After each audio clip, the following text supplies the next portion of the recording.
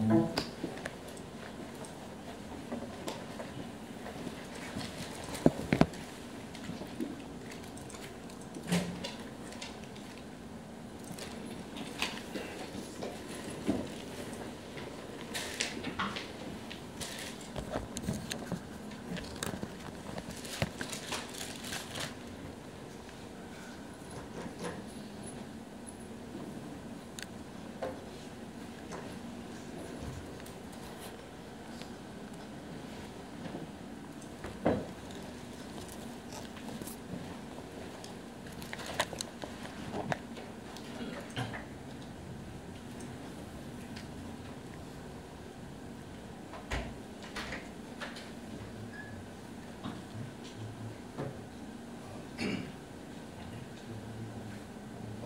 So let's get started.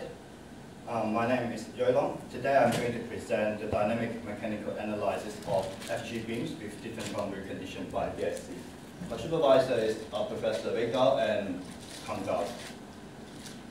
In this presentation, I will first give a brief introduction about FGMs. Then I will talk about the DSC method, which is the numerical method I'm going to use in my uh, thesis. Then I will going to talk about the governing equation of the functional gradient Timoshenko beam. And after that, I will talk about uh, a numerical example and give some discussion. At the end of this presentation, I will give a conclusion. So, what is FGMs? FGM stands for functional gradient material, and the main characteristic of this material is that it can provide smooth and continuous variation of the material property in the desired direction. And due to its special property, the functional gradient material have a wide range of applications, such as in aerospace structure, nuclear infrastructure, and library structure, which is very popular in the field of civil engineering. So it is very important to understand the static and dynamic response of the functionally graded structures. So the aim of this thesis is to analyze the free vibration response of functional graded beams and study the effect of the geometry property and the material distribution on the natural frequency parameter of the functional graded beams, and to investigate the effectiveness of the DSC method in analyzing the vibration response of functional graded beams. So what is DSC method and why I'm going to use DSC method rather than other numerical method in my thesis? So DSC stands for discrete singular convolution, and it is um, novel numerical method. So why I'm going to use DSC? Because the superiority of DSC is that it can combine the high frequency of the global method as well as the extraordinary flexibility of the local method. And the DSC method has been applied to solve for many um, static and dynamic uh, problems for many structure successfully. So it is one of the best candidates to um, apply into so for the uh, free vibration problem of the function beam. And how does this method work? So the following uh, formula is the fundamental formula for the DSC, uh, DSC.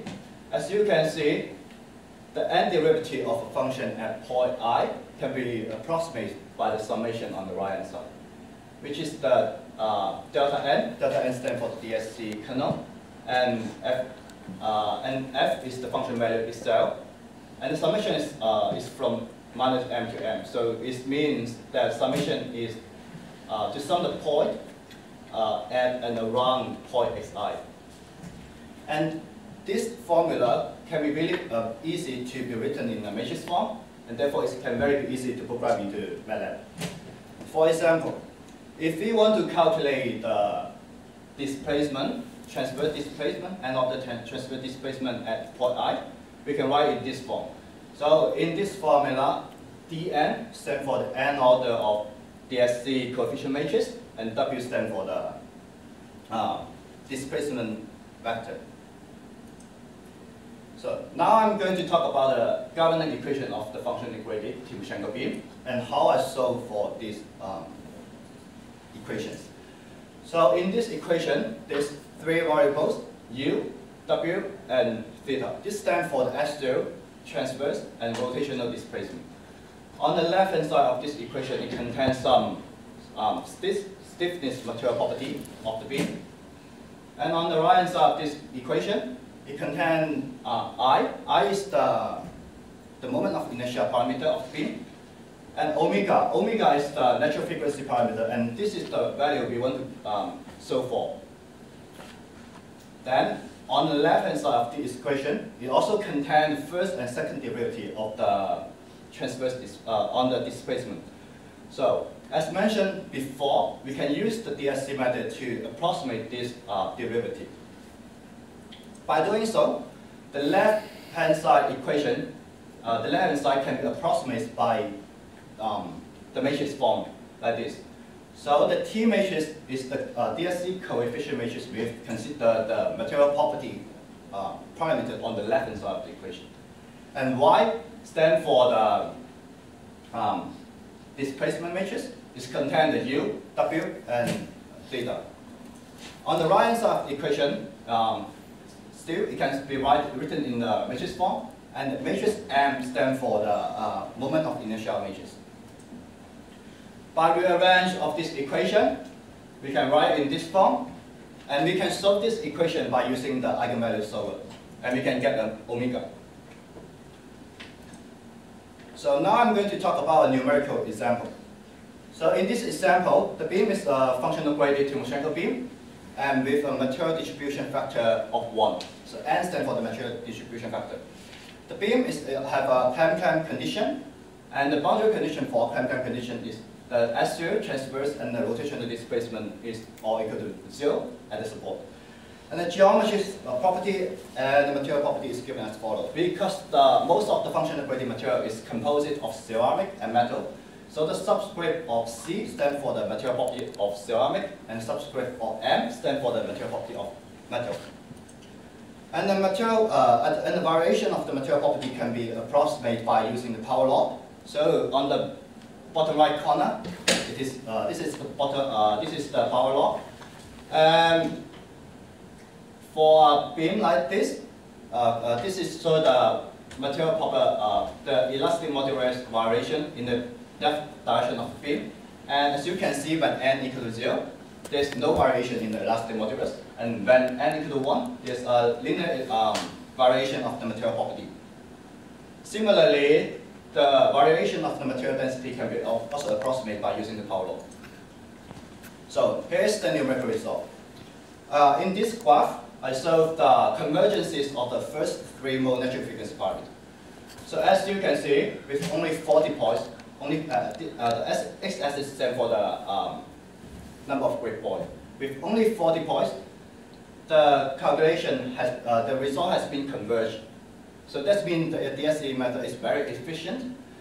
And I also com uh, compared this uh, result with the one in literature, which is by the Chishibas method.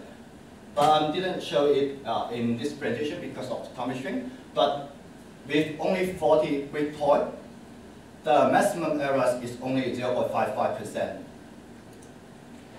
Then we can also plot the mode shape of the uh, Clam-Clam Timoshenko beam with a material distribution factor of 1. So this is the trans, uh, first motion of the transverse displacement. This is second motion. This is third. We can also make use of the motion to check for the boundary condition. For example, at the left support and the right support, there is um, no transverse displacement, so the transverse displacement is equal to zero. Similarly, we can also plot the uh, axial motion. This is mode 1, this is mode 2, and this is mode 3. And similarly, we can also check for the boundary condition. And the rotational displacement. This is mode 1, this is mode 2, and this is mode 3. And we can also check for uh, the boundary condition by using the mode shape. Then I also investigated the effect of the thickness to length ratio on the omega. So in this figure, um, the x-axis is the thickness to L, uh, to length ratio, and the y-axis is the number of uh, is the value of the natural frequency parameter. As you can see, a larger H to L ratio tends to cause a lower uh, natural frequency parameter in all cases. But as you can see, the H to L ratio have a larger effect on the higher mode than the lower mode, especially for the first mode. Uh, is the effect of H to L ratio is minimum. So I also studied the effect of the material distribution factor on the x-axis. I showed the um, material distribution factor from 1 to 5. And, uh, and on the y-axis is the value of the fundamental uh, frequency parameters. So a higher, material, uh, a higher material distribution factor tends to cause a lower uh, fundamental frequency. So to conclude, DSC method is a highly accurate and efficient method in analyzing the free vibration response of functional gradient beams. And a large uh, H2R ratio tends to cause a lower value of uh, omega for the clam-clam um, functional gradient beam. And a larger N will lead to a lower value of um, omega for the clam-clam functional gradient beam. So this is the end of my presentation, and this, um, this is some reference. Thank you.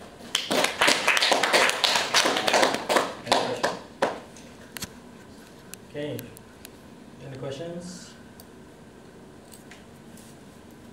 I have some question. Yeah. Um, can you go to one of your results? Um, because what I'm, uh, I think you did a convergence. Yeah, this one. Yeah. Yeah. So basically, uh, do you have any other methods to compare it with? I compare this one with the literature. It didn't, uh, it's doing by another numerical method. It's called the cheese, cheese, cheese, cheese, the cheese by cheese method.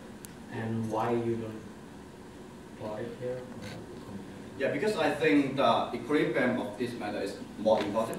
Like uh, when I first do the uh, PPT, I plot it with uh, plot the relative error with the like I plot the relative error with different grid point. But I think uh, in this form is um, this form can um, show the convergences of the natural frequency parameter more clearly than the relative error. Yes. And I compared this, um, the relative error with the converge value for the uh, for 40 grid point, and the error is only 0.55% for the move 3. And n is the number of elements? It's number of grid point. Number of. Yes, so we just describe the beam in the transverse direction. So you actually need only 40 points. And how long? How long is it? Yeah, how long does it stay? How long is the beam or uh, how thick is the beam? Like you're doing some analysis, uh, numerical, Yeah, not the numerical. yeah. So, uh, how long does the analysis take? How long? Uh, how long is the analysis? Yeah. It's within a second. So it's like less than a second. Okay. If I uh, increase the grid point to like 500, it's only take one second, less than two seconds. But the uh, results very accurate. It's almost the same with the literature. So following the Albert's question, so you are using the house code or use the commercial software? I use the MATLAB to do. uh, You have to do Yeah. that, okay. Uh, Say this way, uh, I don't know the, you know, the dimensions of your, of your example. Uh, so our experience actually, um, uh, can, could be, you know, useful for your, your reference. So in the past, uh, we have students use the, the, uh, the Strand seven Yeah. and uh, the ANSYS, right? And uh, use the Strand seven ANSYS, you know, because for the commercial software, we, we cannot touch the, the code. Mhm. But uh, for ANSYS, it's more powerful. ANSYS is more powerful. What will I say that because uh, behind of the, you know, actually that like the black box.